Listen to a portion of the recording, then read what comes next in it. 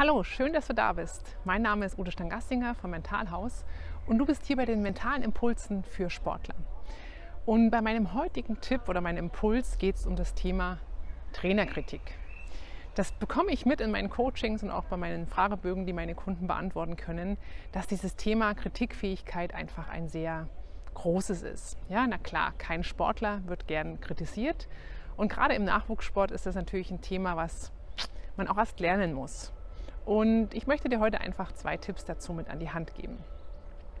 Das erste ist, die Trainer sind auch nur Menschen. Das bedeutet, dass sie natürlich auch für ihren Sport leben. Oft sind sehr leidenschaftliche Trainer und die Emotionen gehen auch manchmal mit den Trainern durch. Ja, Sport ist einfach Emotion pur. Also gerade wenn ich an Fußball denke zum Beispiel, da hupfen natürlich manche Trainer ganz schön an der Seitenlinie rum. Und nicht immer gelingt es den Trainern, auch vielleicht die richtigen Worte zu finden.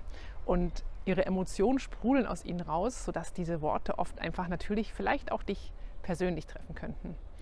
Und mein erster Tipp ist wirklich, mach dir bewusst, er meint dich nicht persönlich. Oder sie meint dich nicht persönlich. Oder noch anders formuliert, nimm es nicht persönlich. Jetzt fragst du dich, okay, wie soll ich das machen?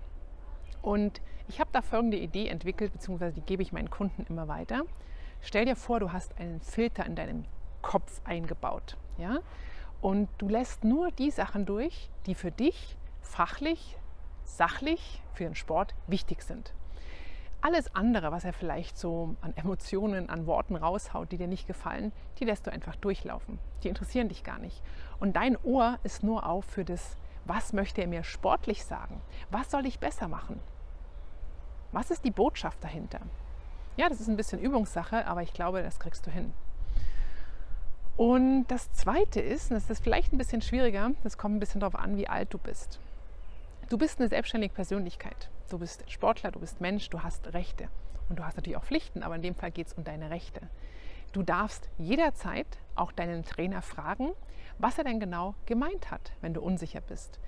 Mach das vielleicht nicht direkt nach dem Spiel, wenn er vielleicht die Kritik anbringt, weil da sind die Emotionen noch zu groß.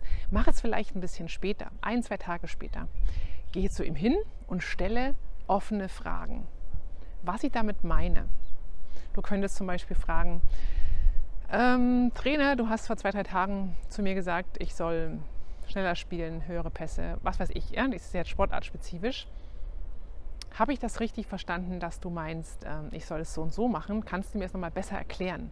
Also stell eine Frage am Ende, auf die er nicht mit Ja oder Nein antworten kann. Ja, dass er dir erklären muss, was er von dir möchte.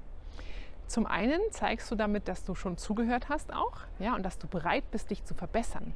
Also trau dich, ja, nach zwei, drei Tagen wirklich zu fragen, was kann ich verbessern? Was hast du gemeint?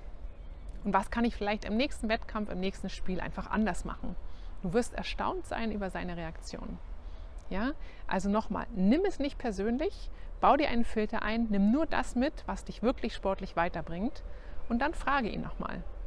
Ich wünsche dir viel Erfolg dabei, alles Gute und schau dir gerne auch die anderen Videos an zu den mentalen Impulsen im Sport. Mein Name ist Ute Stangassinger und schön, dass du vorbeigeschaut hast. Mach's gut. Ciao.